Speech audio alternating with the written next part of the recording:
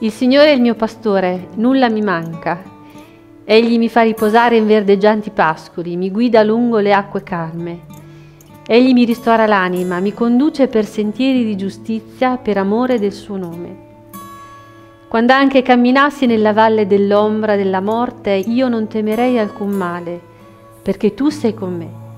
Il tuo bastone e la tua verga mi danno sicurezza.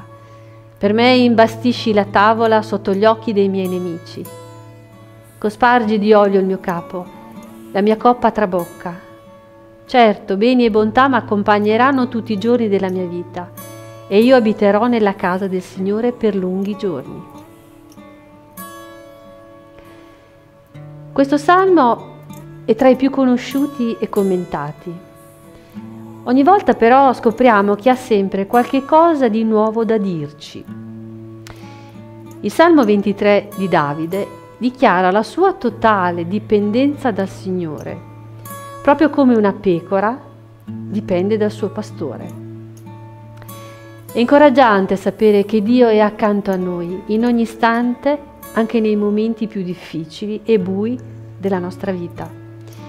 Il Signore ci conduce per sentieri di giustizia. Essere condotti in un sentiero presuppone che camminiamo.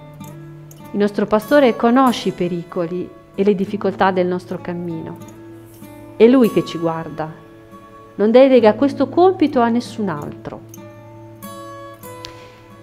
Questo salmo ci fa pensare alla parabola che troviamo al capitolo 15 di Luca. Chi di voi, avendo cento pecore, se ne perde una, non lascia le 99 nel deserto e va dietro a quella perduta finché non la ritrova. E trovatala, tutto allegro se la mette sulle spalle.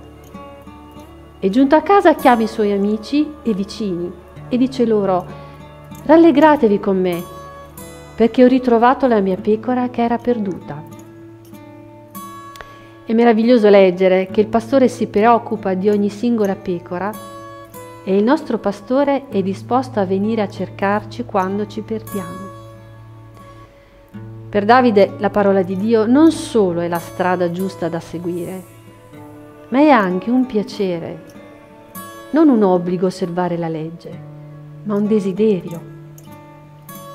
Davide ha raggiunto uno splendido rapporto con la parola di Dio e quindi con Dio stesso, perché ha camminato secondo la legge del Signore. Camminare vuol dire vivere secondo la legge, vuol dire all'interno della legge, che non è solo una stella che ci guida, una lampada che illumina la nostra strada, ma è uno stile di vita ma come ha fatto il salmista a raggiungere questo rapporto con Dio?